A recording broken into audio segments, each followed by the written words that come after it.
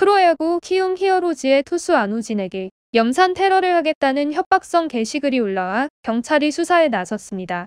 문제의 협박글은 오늘 오전 8시 15분쯤 인터넷 커뮤니티 사이트인 DC인사이드 키움 히어로즈 갤러리에 올라왔습니다.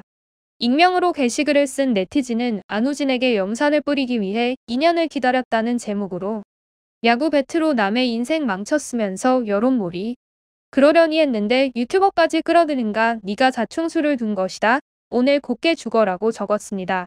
이 글을 본 키움 팬들이 오전 9시쯤 경찰에 신고를 했고 경찰은 작성자를 추적하고 있습니다. 한편 키움과 SSG는 이 시각 현재 한국 시리즈 5차전 대결을 하고 있습니다.